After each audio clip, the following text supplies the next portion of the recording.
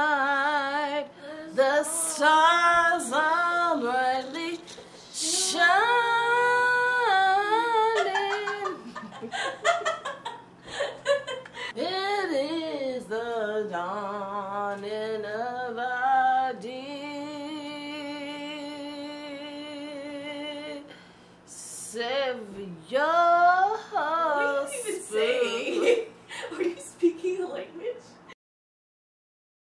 don't know what's going on in the heterosexual world. I feel so bad for anyone who decides to date a straight man.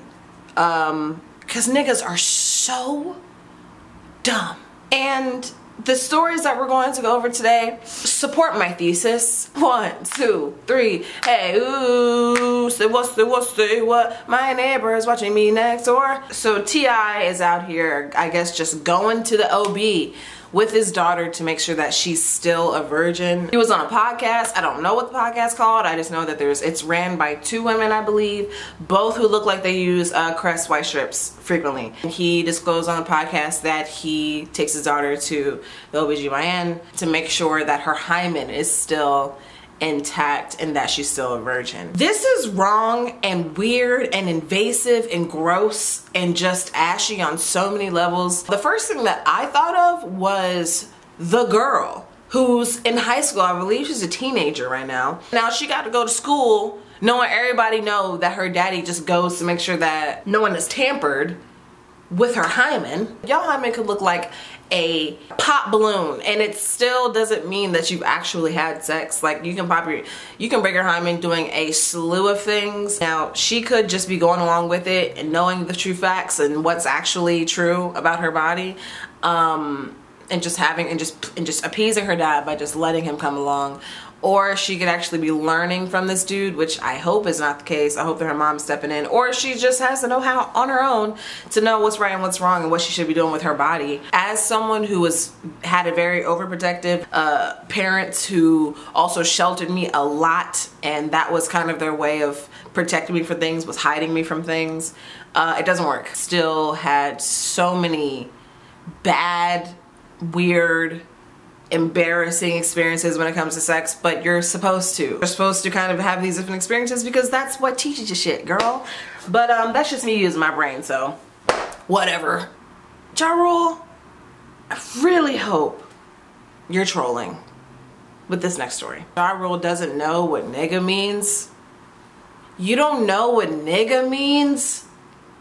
You are one. Been one. Birth certificate. It says Ja that nigga rule. Uh, he tweeted that he thought that the word meant ignorance. Cause the thing that gets me, you guys, is that he said it in songs correctly. He used it in, within the correct context in songs.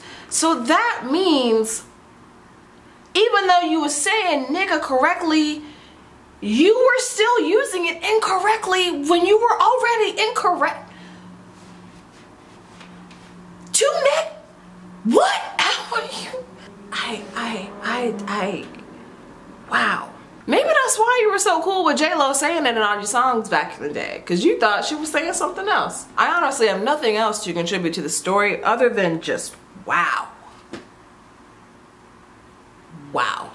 Oh, and this last story tell me how y'all feel about this because I know as the in the gay community we stand anytime somebody comes out anytime gives anytime anyone gives us they them energy we're just like we're here for it. We're so quick to stand for people just based off of some gay shit. But this one hit me sideways gave me a little bit of pause but let me know what y'all think. A woman by the name of Robyn Crawford uh, is coming out with a book. She's coming out with a memoir, and she's talking a memoir, memoir, memoir, memoir, memoir, mem, memoir, mem, mem, memoir.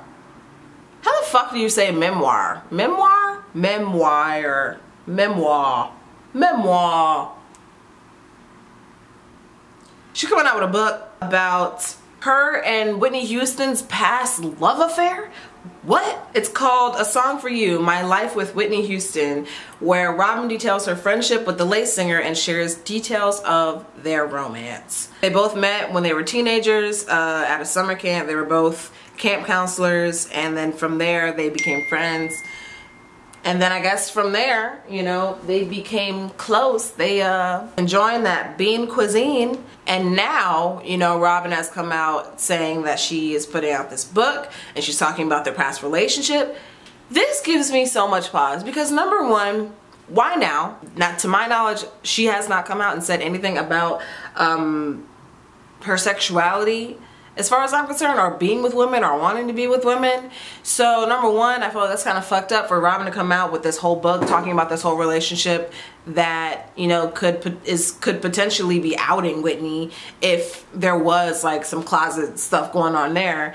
Um, it could have just been like a one and done kind of experimental thing. I don't know. We don't know. We probably will never know because my girl is gone. Whitney's gone. Robyn says that in the book, Whitney requested that they stopped seeing each other, stopped being physical because um, she didn't want it to get in the way of her music career. Yet, people who knew them mutually said that they saw them like making out publicly, like being intimate in public before. So that doesn't make any sense. So yeah, I just think it's weird. I just think it's weird when people come out with books and talk about people that are dead, give out really revealing information or just personal information when that person when the when the person that is now deceased isn't even there to speak their side of the story speak their story period. And that is today's say what sunday i gotta get up on out here. Thank you guys for watching. Leave comments and stuff and like the videos and subscribe and all those kinds of things and i'll see you all very soon.